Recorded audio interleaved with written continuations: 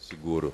É, e nenhum, nem na seleção, em lugar nenhum, ele é seguro, porque ele está atrelado a um monte de coisas, principalmente a resultados. É, mas é, eu estou num clube onde é, se faz uma diferença, porque a avaliação feita aqui ela é em cima do trabalho que está se fazendo.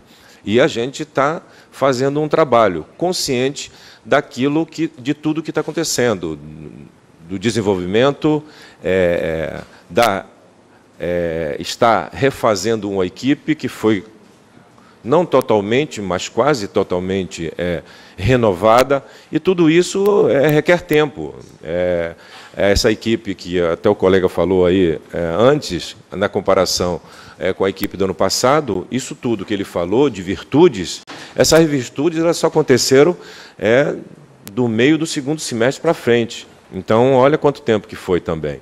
E a gente, é, esse ano, ainda está passando é, por circunstâncias ainda de perda de jogadores, de recompor elenco, de, de trazer novos jogadores. Então, ainda com isso, ainda requer mais tempo ainda. Mas é, isso pode também, em algum momento, é, esses jogadores encaixarem.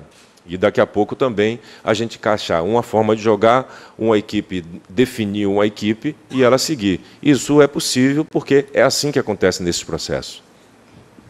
Cristóvão, e agora a gente vai para um mata-mata, né? Lógico uhum. que o melhor resultado é a vitória, mas o que também seria um bom resultado lá jogando na casa do adversário?